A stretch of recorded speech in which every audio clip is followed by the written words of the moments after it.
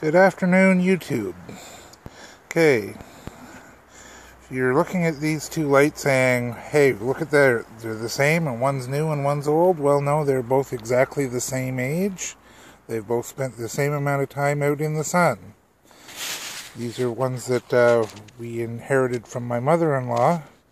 And this video is about something that I read on one of those 40 greatest life hacks for summertime things that is that is circulating on Facebook. So I'm going to hand the camera over to my wife here.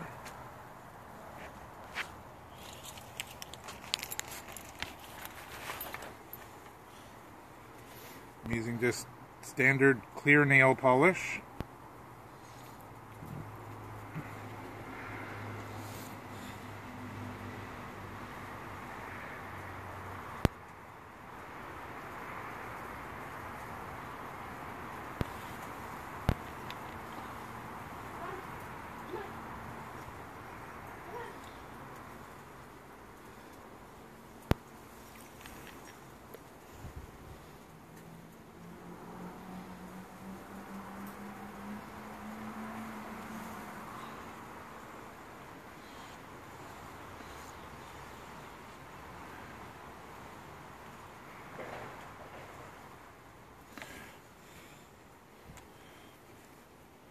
Now,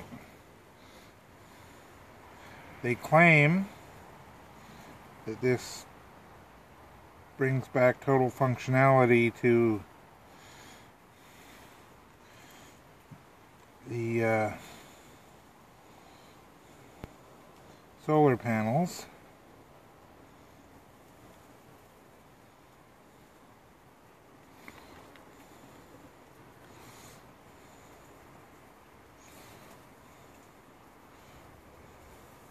Now, as this is only the second time I've tried that, I cannot guarantee that. But I did notice when I was doing this one that the light was on when I started, even though it was the middle of the day. And when I put the, the clear coat on the light sensor that turns them on and off, it went off. So it was getting then getting enough light to trip the off circuit.